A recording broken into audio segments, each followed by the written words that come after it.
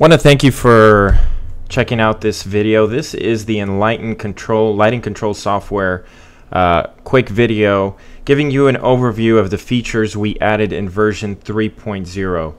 Uh, this video will be longer than most of the other videos mainly because we added so many features. Um, so let's get started. Um, I have a list here and I'm just going to go over each item. Uh, the first list, we improved support for the control wing on Enlighten and lots of minor changes and fixes. So obviously we're not going to go through the details of those. the first thing I have here on my list is um, hardware detect button.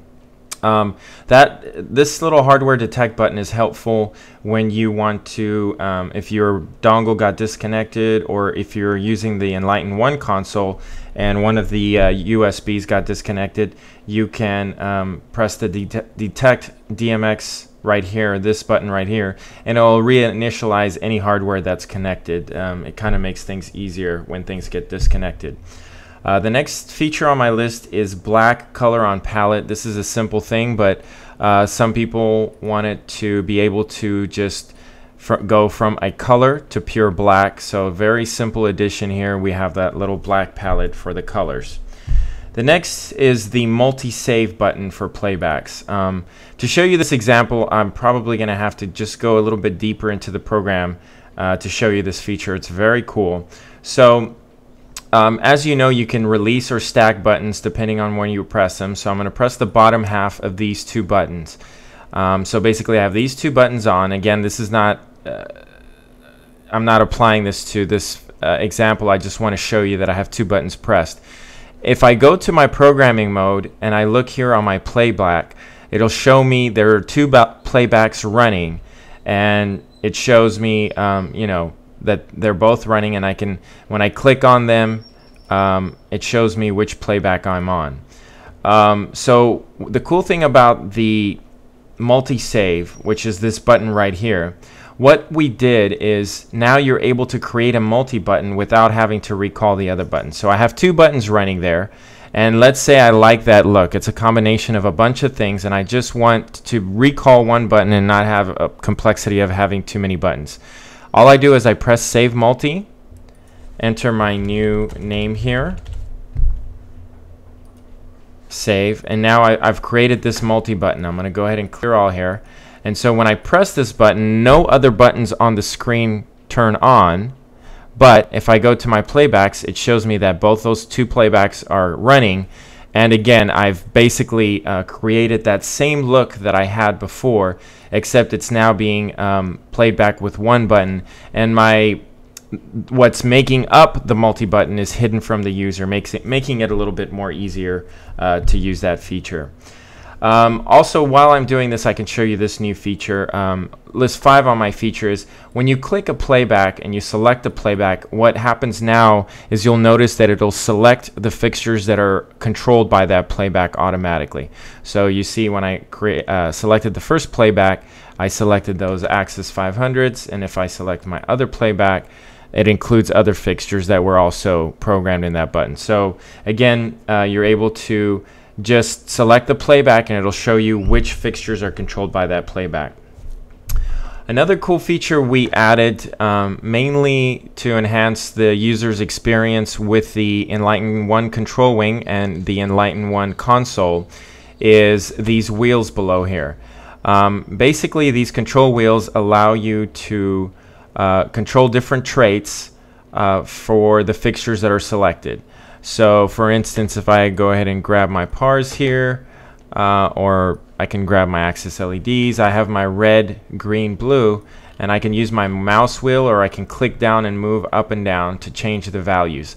Also, if you obviously have the Enlighten control wing, you have those uh, 11 wheels on top that you can do this. Now, one cool thing about this is your pan and tilt will always be in the middle. And if you go to Gobo, uh, these fixtures don't have gobos. I'm going to select some fixtures with gobos. It'll select your gobo 1 wheel, your gobo 2, and your focus and zoom will always be on the left and right and pan and tilt in the middle. So depending on which um, preset you pick, the ones on the outside change, but the focus, zoom, pan, and tilt stay the same. It helps speed up programming uh, so that you always know when you go to that wheel, you'll be um, adjusting that attribute. Again, the new Enlighten 1 wheels in the new version of Enlighten 3.0. We also improved MIDI support to also, um, if you are using a um, universal MIDI controller, you can now assign the uh, Grandmaster and Blackout button to a MIDI note. So that's something very simple. Um, also, something that we've noticed is uh, a lot of people are using uh, fixtures with multiple gobo wheels, or um, in this case, I'll show you, uh, let's see. Uh, like in Beam, I have a general palette category called Beam. Well, that could be modifying a dimmer channel, a focus channel, an iris channel, pr prism, so on and so forth. So um, in in doing this, I'm just basically giving you a description of what that preset does. Um, so that makes it easier to kind of organize your uh, your presets. Also, what we did is we, um, I don't have an example here, but in the function uh, tab, if you basically have a lamp on or off on your fixture, those presets will automatically be ge generated and put into your um, function presets we added a master pause button right here. So when you press that pause button or the pause button on your keyboard, it will pause all the sequences or buttons that are running. Um, and then again, if you press it again, it'll uh, start playing them again. Um, expandable size on, on playback view. One of the things uh, that a lot of customers were requesting is they wanted more real estate for buttons. They were running out of room. And so what we did is we did the expandable windows. So basically, when you press this, um, you get a much bigger screen. And of course, if you're not using your submasters or um, you're using the Enlighten control wing or console, you don't need these because you actually have the hardware faders. Um, so this gives you basically more real estate and you can also hide the tap sync and other things. So that's another feature we added. We also moved a lot of these buttons to kind of free up some of the space here. So we have clear all, we have a release page, group buttons is up here, reset page, uh, which default mode, which is the button mode, and then button wizard. Um, so all those have moved up here just to give us a little bit more room. We also added the ability to trigger a timeline button from another timeline button. I'm not going to show you that, but uh, just uh, some of the advanced users would know what I'm talking about. Um, also, one of the other things we did in uh, those who, who use the matrix control, we added an audio tab. And the audio tab basically allows you to run like an EQ or uh, random uh, matrix patterns um, from here using your, your sound activation. So you do have a, to have an audio line in running. And I'll probably make another video describing how to use that, but I just wanted to give you an idea that it's there.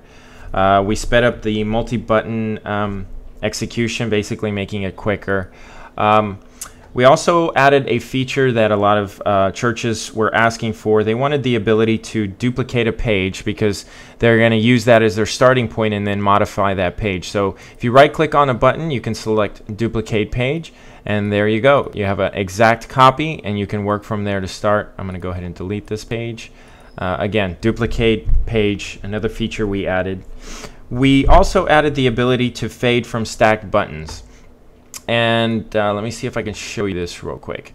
Basically what that means is if we have the welcome look there and then we stack the speaker look, when we release the speaker look, if we had a fade time there, it would basically fade back. Um, a lot of you will actually see that when you're um, stacking buttons and releasing, it'll instead of uh, shutting the look off and then fading back up, it'll basically crossfade directly back to where it was, whichever the last button it, what, that was active for that fixture. Uh, we also added the ability to change the fixture number. Um, if you view edit start channel here, the fixture number basically is this number right here. And the reason uh, some people would want to change the fixture numbers, they'd want to change the order in which our effects, the either the RGB effects or the MFX, how they're being implemented. So this will change that. And um, so again, you can now change the fixture number. You just basically set the new fixture number and close the dialog. It'll confirm and that will change the fixture number. Also, one of the things that we notice is when um, individuals are creating their own fixture, sometimes they forget to put the fixture name. So we basically just put a check in there. You have to name a fixture if you're creating one, uh, something very simple. Um, also, something that is kind of uh, not well documented at this point, and we're just going to see if people actually use this. But if you actually press a button and activate it, and there's multiple steps in it, use, you can use your arrow forward and arrow left key uh, to step through the sequence, and you can use your arrow up to pause and play. So again, just kind of one of those features that someone asked for, and uh, we'll see if it gets used. If so, we'll add some documentation. We also added a bump option to the mouse. So um, some people wanted to be able to create a bump button. Instead of using the keyboard shortcut they just wanted to um, press it. So basically now with your mouse you can create a bump button um, by just right clicking and selecting and selecting it. Also in the audio trigger we added a skip beat option here. So basically uh, you're able to skip 0 2 4 8 or 16 beats uh, depending on um, your preference there.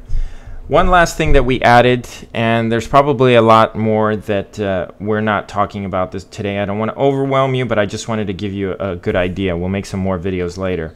The last thing is in what I found is in patching. Um, when you're addressing fixtures, having to right click and select uh, view edit start channel would get a bit tedious. So what we did is we made it so that you can double click on the fixture and you can get all the information right there. So you can quickly get the start address.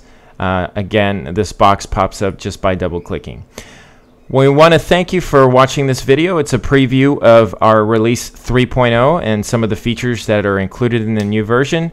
Hope you're enjoying using Enlighten. If you ever have any questions, we'll be happy to do a Skype session. My name is Winston. I'm with Mega Control Systems.